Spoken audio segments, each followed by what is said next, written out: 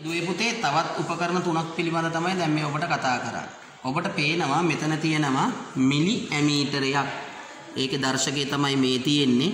ඉතින් මිලි ඇමීටර වලට හෝ ඇමීටර වලට හෝ ධාරාමායන උපකරණ වලට අග්‍ර නිවැරදිව සම්බන්ධ කරන්න ඕන. මේ රතු පාටින් තියෙන ධනාග්‍රය කළු පාටින් තියෙන ඍණාග්‍රය මේ වගේ මේක බුරුල් කරලා ඒක ඇතුළට වයර් කෑල්ල දාලා මෙහෙම තද කරන්න තමයි මේකේ තියෙන්නේ.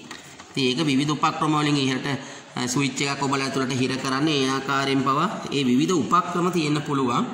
ඉතින් මෙතන මම ඔයගොල්ලන්ට පෙන්눔 කරනවා මේ තමයි පුතේ තියෙන්නේ. අපට උත්තල කාචයක් මේ අත් කාචයක් කියලා අපි කියන්නේ. උත්තල කාචයකට මෙහෙම මිටක් හයිකට ගත්තම අත් කාචයක්. අත් කාචයක් භාවිතා කරන්නේ අපට ඇහැට පේන දේවල් ලොකු කරගන්න. ඔබ දැන් කැමරාව හරහා බලන්න පුතේ මෙතන තියෙන ඉලක්කම් දෙස යම්කිසි ගාණක්. මම ඒ කැමරාව ඉදිරියට ගේනවා. මෙන්න මේ කාචය. ඒ කාචයේ ගේනකොට යකුරු විශාල වෙලා පේන හැටි පුතාලට බලා ගන්න පුළුවන් වේවි.